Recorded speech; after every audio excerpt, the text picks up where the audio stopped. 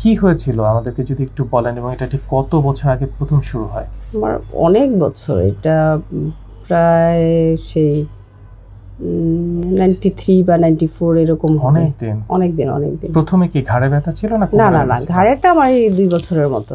আচ্ছা কিন্তু নাইনটি ছিল? কোমরেরটা নাইনটি থ্রি ঠিক আনুমানিক বলি আমি জানি না।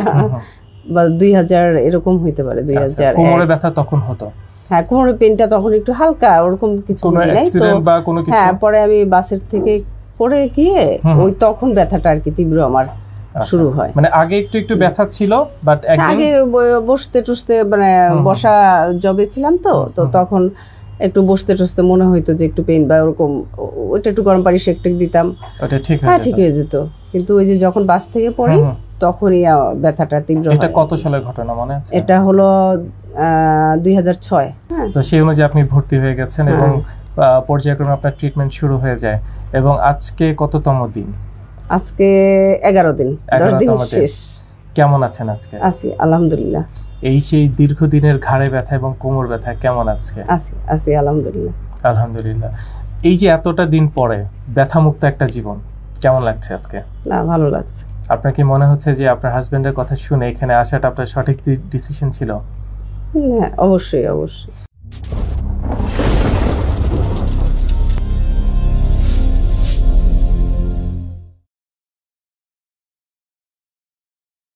আসসালামু আলাইকুম। দূরে এবং কাছের যারা এই মুহূর্তে আমাদেরকে দেখছেন, তাদের সকলকে জানাই স্বাগতম। দর্শক, আশা করি সবাই ভালো আছেন এবং সুস্থ আছেন। ডক্টর মোহাম্মদ শফিউল্লাহ প্রধান, যিনি বিশিষ্ট বাদ ব্যথা এবং pain paralysis and rehab physio specialist. দীর্ঘদিন যাবৎ অক্লান্তভাবে পরিশ্রম করে যাচ্ছেন, বিভিন্ন ধরনের ব্যথাজনিত যে রোগ আছে সেগুলো ট্রিটমেন্ট করে যাচ্ছেন। ফলশ্রুতিতে অসংখ্য হাজার হাজার রোগী যারা সুস্থ হয়ে আজকে স্বাভাবিক জীবনে ফিরে গিয়েছেন, স্বাভাবিক সব কাজকর্ম করতে পারছেন। স্বাভাবিক জীবনে ফিরে যাওয়াটা, অসুস্থতা থেকে সেটা যে কত বড় একটি নিয়ামক সেটা মাত্র শুধুমাত্র যারা সুস্থ হয়েছেন তারাই বুঝতে পারেন। যারা অসুস্থ ছিলেন সেই কষ্টটা, সেই যে তীব্র একটা কষ্ট শুধুমাত্র যার ব্যথা হয়নি তারা বুঝতে পারে না। দর্শক, আজকে আমাদের সাথে এখানে আমাদের একজন বোন উপস্থিত আছেন। দীর্ঘদিন যাবত ওনার ঘাড় এবং কোমরে ব্যথাজনিত সমস্যা নিয়ে ভুগেছেন এবং এর জন্য উনি বিভিন্ন জায়গায় এর বিভিন্ন ধরনের ট্রিটমেন্টও করেছেন। বাট অবশেষে আজকে উনি মুক্তি পেয়েছেন সেই অসহ্যকর ব্যথা থেকে। কি করেছিলেন এবং প্রথম কীভাবে এই যন্ত্রণা শুরু এবং তার পুরো পরিক্রমাটা আজকে আমরা প্রথম থেকে শেষ পর্যন্ত ওনার কাছ থেকে আমরা শুনব। আসসালামু আলাইকুম। আপনার নামটা যদি একটু বলেন আমাদেরকে। হামিদা। হামিদা কোথায় থাকেন আপনি? পূর্ব রাজাবাজার। পূর্ব রাজা বাজার আচ্ছা কি হয়েছিল? আমাদেরকে যদি একটু বলেন এবং এটা ঠিক কত বছর আগে প্রথম শুরু হয়? আমার অনেক বছর। এটা প্রায় সেই নাইনটি থ্রি বা নাইনটি ফোর এরকম অনেক দিন। অনেক দিন অনেক দিন। প্রথমে কি ঘাড়ে ব্যথা ছিল না না না না ছিল? আমার এই দুই বছরের মতো। আচ্ছা কিন্তু নাইনটি থ্রিতে ছিল? নাইনটি থ্রি ঠিক আনুমানিক বলি আমি জানি না। বা দুই হাজার এরকম হইতে পারে দুই আচ্ছা, হাজার কোমরে ব্যথা তখন হতো? হ্যাঁ কোমরের পেনটা তখন একটু হালকা ওরকম কিছু নাই তো হ্যাঁ পরে আমি বাসের থেকে পড়ে গিয়ে ওই তখন ব্যথাটা আর কি তীব্র আমার আচ্ছা। শুরু হয়। মানে আগে একটু একটু ব্যথা ছিল বাট আগে বসতে টসতে মানে বসা জবে ছিলাম তো তো তখন একটু বসতে টসতে মনে হইতো যে একটু পেন বা ওরকম ও- ওইটা একটু গরম পানি শেক টেক দিতাম। ওটা ঠিক হ্যাঁ ঠিক হয়ে যেত। কিন্তু ওই যে যখন বাস থেকে পড়ি। তখনই ব্যথাটা তীব্র এটা কত সালের ঘটনা মনে আছে? এটা হলো দুই হাজার ছয়। দুই সালে বাস হ্যাঁ। থেকে পড়ে গিয়েছিলেন। আচ্ছা পড়ে গিয়ে কোমরে ব্যথা পান হ্যাঁ পেনটা বেশি বেশি তখন ওই এদিক ওদিক গিয়ে আচ্ছা মোটামুটি যখন করছে। প্রাথমিকভাবে এরকম ব্যথাটা আপনি ব্যথা পেলেন তো সেক্ষেত্রে কোনো ডক্টরের কাছে গিয়েছিলেন? গিয়েছিলাম। একটা হিন্দু ডাক্তার, আমার নামটা মনে নেই। তো উনি ট্রিটমেন্ট দিয়ে মানে দেখে উনি বলল যে থেরাপি দিতে। তো আমি আসলে কন্টিনিউ করিনি। আচ্ছা। হ্যাঁ তো বা উনি কি বলেছিলেন তখন যে সমস্যাটা কোথায় বা কি হয়েছে? সেই সমস্যাটা আপনাকে বলেছিলেন? অতটা বলে নেই বলছে যে আচ্ছা। কোমরে আপনার ইয়া রক্ত চাপ খেয়ে আছে। আচ্ছা। তারপর দেখাইছিলাম ওরাও বলছে যে ভেনগুলি চাপ খেয়ে আছে। সেটা কি কোনো এক্সরে করার মাধ্যমে তারা জানতে পেরেছিল না হ্যাঁ, এমআরআই এক্স এক্সরে করছে। ওকে হ্যাঁ। তো আবার কলকাতায় গিয়েছিলাম। ওখানেও তারা প্রথম দিকে যখন আপনি মানে এত জায়গায় যাচ্ছেন কেন? প্রথম যখন আপনি ট্রিটমেন্ট করেছিলেন সেই ওষুধে কোনো বা সেই ট্রিটমেন্টে কোনো কাজ হয়নি ওরকম? আসলে ওরা যে এটা বলছে এক্সারসাইজ আমি করি নাই আচ্ছা আমি একটু অলস প্রকৃতির। আচ্ছা। ওইভাবে আর কি করিনি। তখন আর অত বেশি গ্রাহ্য করেনি হ্যাঁ গ্রাহ্য করি নাই একটু গরম পানি শেক টেক দিয়ে ভালো আছি তো ভালো আছি এরকম।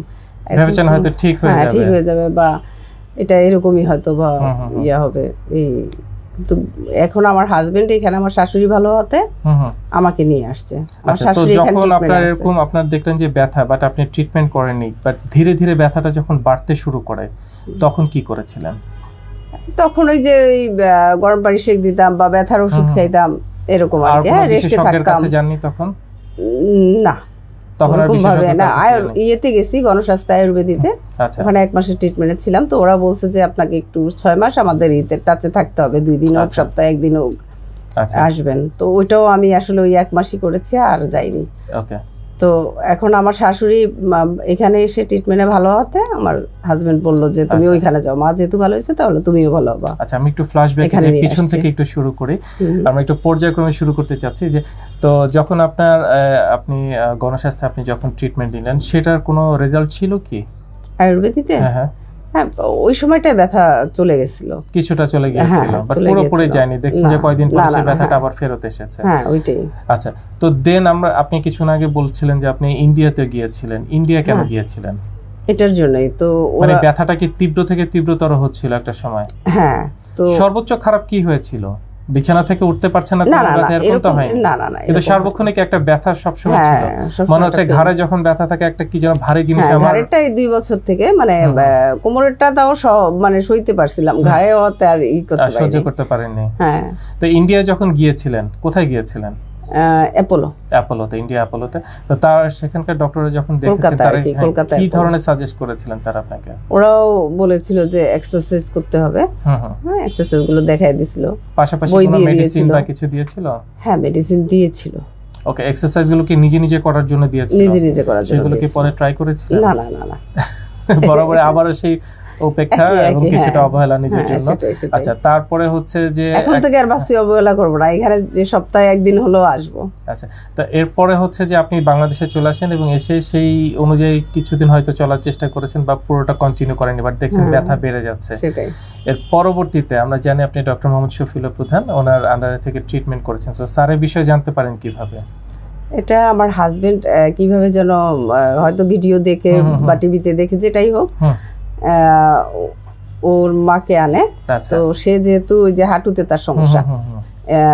করোনা হয়ে স্ট্রোক করছে। স্ট্রোক করার পর হাঁটুতে সমস্যা হয়েছে। তো হাঁটতে পারে না। এখানে নিয়ে আসছে। এখন আল্লাহ রহমতে ওয়াকার দিয়ে হাঁটতে পারে সে। আচ্ছা। মানে যে অবস্থায় নিয়ে এসেছিল সেটা তো এখন ভালো অবস্থা আছে এবং সুস্থ আছে। হ্যাঁ এখনও আসে সে। এবং সেটা দেখার পরে আপনারও একটা কনফিডেন্স এসেছে ঠিক আছে হ্যাঁ। আমিও কেন দেখাই না? না আমার হাজবেন্ডও বলল যে মা যেহেতু ভালো হয়েছে তাহলে তুমি ওখানে চলো। আচ্ছা সেই অনুযায়ী আপনি স্যারের হ্যাঁ, কাছে চলে আসেন স্যার আসলো হ্যাঁ। টেস্ট দিল টেস্ট পরে বলল যে ভর্তি হতে হবে। এই ভর্তি হওয়ার পরে সেবার মান তো আমি প্লিজড আচ্ছা। হ্যাঁ। তো সেই অনুযায়ী আপনি ভর্তি হয়ে গেছেন এবং পর্যায়ক্রমে আপনার ট্রিটমেন্ট শুরু হয়ে যায়। এবং আজকে কততম দিন? আজকে এগারো দিন দশ দিন 11তম দিন। শেষ। কেমন আছেন আজকে? আছি আলহামদুলিল্লাহ। এই সেই দীর্ঘদিনের ঘাড়ে ব্যথা এবং কোমর ব্যথা কেমন আজকে? আছি আছি আলহামদুলিল্লাহ। আলহামদুলিল্লাহ। এই যে এতটা দিন পরে ব্যথামুক্ত একটা জীবন কেমন লাগছে আজকে? না ভালো লাগছে। আপনার কি মনে হচ্ছে যে আপনার হাজবেন্ডের কথা শুনে এখানে আসাটা আপনার সঠিক ডিসিশন ছিল? হ্যাঁ অবশ্যই অবশ্যই। অসংখ্য রোগী আছেন আমাদের দেশে এবং দেশের বাইরে যারা হয়তো এই ধরনের সমস্যাটা ভুগছেন। তারা হয়তো জানেন না কোথায় গেলে একটা ভালো ট্রিটমেন্ট পেতে পারেন। তাদের জন্য যদি উপদেশমূলকভাবে কিছু বলেন। বলব যে আপনারা এখানে আসেন দেখেন এদের সেবার সেবার মান অনেক ভালো। হ্যাঁ এসে ট্রিটমেন্ট করালেই সবচেয়ে ভালো হবে।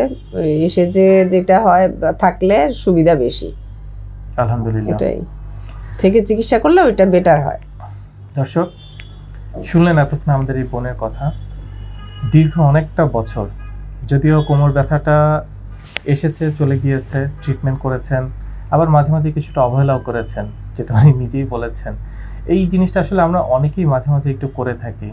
কারও কারোর জন্য হয়তো বেশি ভয়ঙ্কর কিছু ঘটে না বাট কারও কারোর জন্য এই ছোট্ট অবহেলাটা অনেক ভয়ঙ্কর কিছু ডেকে নিয়ে আসতে পারে, যার অনেক অনেক উদাহরণ আমাদের কাছে আছে। আমরা চাই না যে আমাদের কোনো মা, ভাই, বোন কেউ বিনা চিকিৎসায় বা সঠিক চিকিৎসার অভাবে ধীরে ধীরে তারা পঙ্গুত্ব বরণ করুক বা সারা জীবনের জন্য তারা পঙ্গু হয়ে যাক। ব্যথার যন্ত্রণায় তাদের চোখ দিয়ে যাতে একটি ফোঁটাও পানি আর বের না হয়। আমরা সবসময় সেই চেষ্টাই করি। ধন্যবাদ আমাদের সঙ্গে থাকার জন্য। আসসালামু আলাইকুম। আপনাকে অসংখ্য অসংখ্য ধন্যবাদ। আসসালামু আলাইকুম। রহমতুল্লাহ বারাকাত।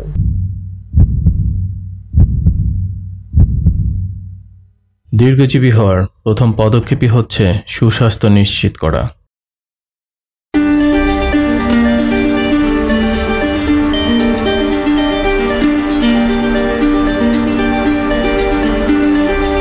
দেহ ও মন ভালো থাকলেই ভালো থাকে স্বাস্থ্য। আমাদের রয়েছে আধুনিক যন্ত্রপাতি। সঠিক ও স্ট্যান্ডার্ড মানের প্যাথোলজি পরীক্ষার নিশ্চয়তা।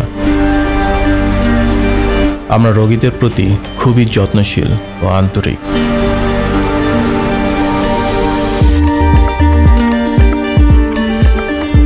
আমরা সর্বপ্রথম প্রতিটি রোগীর সঠিক রোগ নির্ণয় করি। এরপর রোগ অনুযায়ী অপারেশনবিহীন চিকিৎসা দিয়ে থাকি। আমাদের প্রতিটি ডক্টর, নার্স ও থেরাপিস্ট প্রশিক্ষণপ্রাপ্ত ও দক্ষ। আমরা প্যারালাইসিস রোগীদের নতুন করে চলতে শিখাই।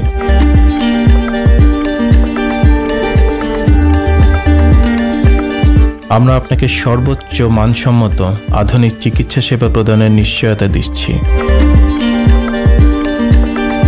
আমরা বিশ্বাস করি আপনি এখানে আপনার নিজ পরিবারের মতোই সেবা পাবেন।